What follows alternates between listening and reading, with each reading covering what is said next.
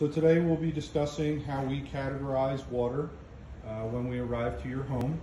Uh, we use the Hygienia uh, Touch uh, ATP meter.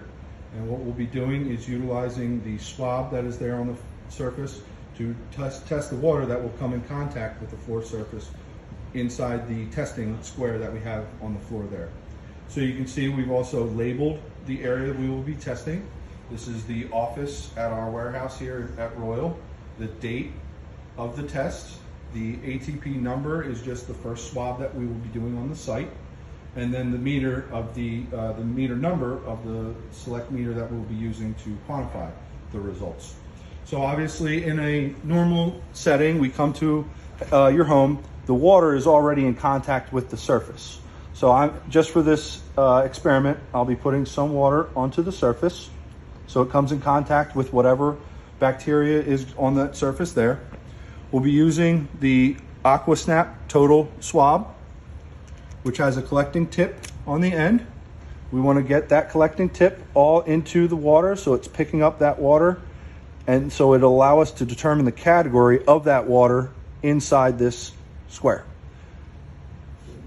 The collecting tip then goes into, back into the tube where we break the reagent at the top here getting that reagent all down into the testing strip and shake it a little bit so it all gets mixed up inside there.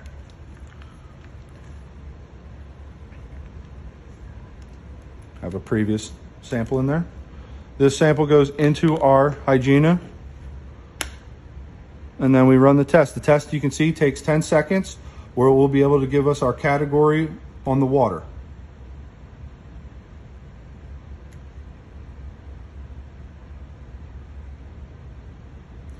448 RLUs, which in the scale of water categorization, this will fall into the category two realm of water.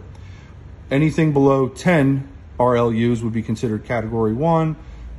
10 to 1,000 is considered category two. Anything over thousand would be considered category three.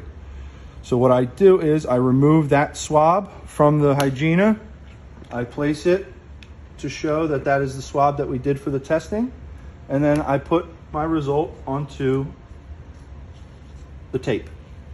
At this point, I can take photos of this for documentation purposes, and this can all then be supplied to the insurance company.